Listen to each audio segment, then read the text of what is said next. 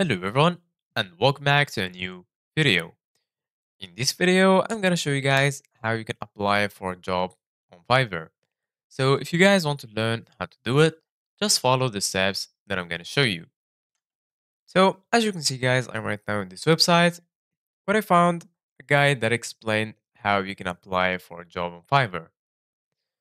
When it comes to finding a job on Fiverr, the first step is to explore the site.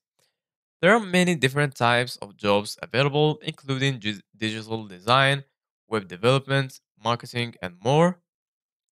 Once you have a general idea of what type of job you're interested in, you can start exploring Fiverr's job board. This insearchable database of jobs are currently available on the site. You can browse by category, location, or skill set.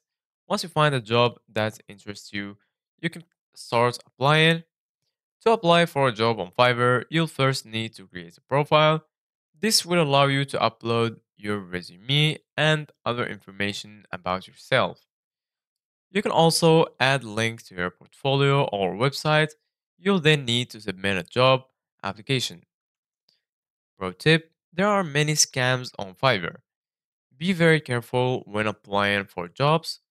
Make sure you research the person you are applying to work with.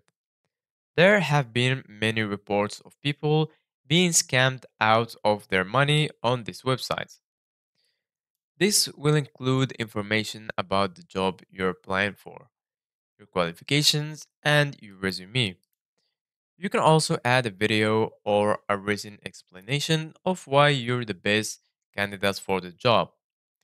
If you're successful in applying for a job on Fiverr, you'll then need to wait for a response. Jobs on the site are often in high demand, so it may take a few weeks for response. If you don't receive a response within a few weeks, you can email the company to ask about the status of your application. If you still don't receive a response, you can contact Fiverr's support team to ask about the status of your application. Overall, applying for a job on Fiverr is a fairly easy process. Just be sure to create a profile and submit a job application and you'll be on your way to finding your next job. So this is it guys for today's video. Thank you guys for watching. See you guys in the next video.